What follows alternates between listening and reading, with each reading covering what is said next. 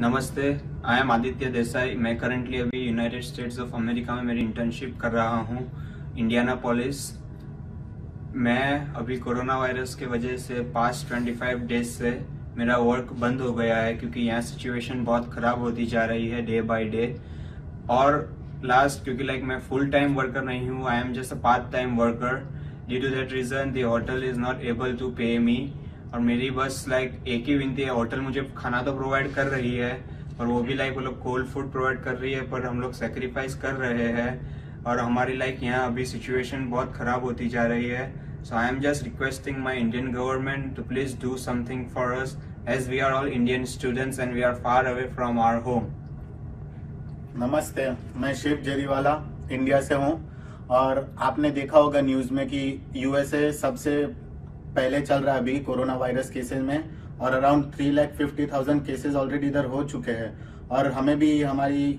हमारे घर से दूर रहने में इतना सेफ़ नहीं लगता इधर। और हम सिर्फ़ गवर्नमेंट से यही चाहते हैं कि हम लोग को जल्द से जल्द हमारे घर पहुँचा दिया जाए।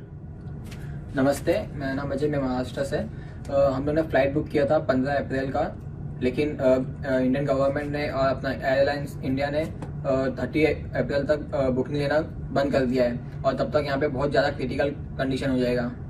तो इसलिए मैं चाहता हूँ कि जल्दी से कुछ करें। नमस्ते, मैं प्रीतम राय। जैसे कि हम हम लोग का पेरेंट्स हम लोग के लिए बहुत वॉरिड है और आप लोग जानते हैं कि यूएस में क्रिटिकल बहुत केस हो गया है एकदम। तो हम लोग को अभी सेफली घर पहुँचा दीजिए, ये आपसे विनती है। नमस्ते, मैं श्वेता। प्लीज़, आपसे रिक्वेस्ट है कि आप प्लीज़ हमारे लिए कुछ फ़्लाइट का अरेंजमेंट करो।